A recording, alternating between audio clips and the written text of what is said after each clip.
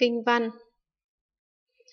A Nan tức tùng tòa khởi, văn Phật thị hối, đảnh lễ khâm phụng, ức trì vô thất, ư đại chúng trung, trùng phục bạch Phật, như Phật sở ngôn, ngũ ấm tướng trung, ngũ trùng hư vọng, vi bản tưởng tâm, ngã đẳng bình thường, vị mông như lai, vi tế khai thị.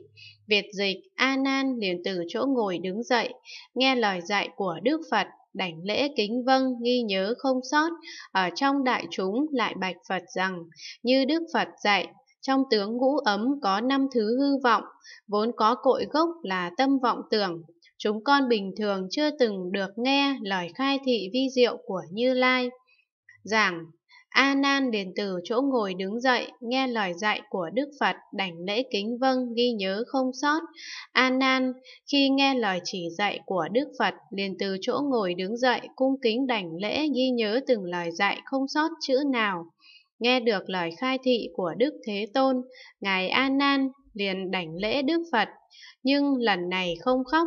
Ngài đã từng khóc nhiều lần rồi, nhưng lần này không khóc là vì Ngài đã ăn no rồi. A Nan cũng giống như đứa bé khát sữa khi uống no rồi nên không còn khóc nữa. Lại nữa, ngài như đứa bé đòi kẹo, một khi nó đã xin được nhiều kẹo, nó không còn khóc nữa.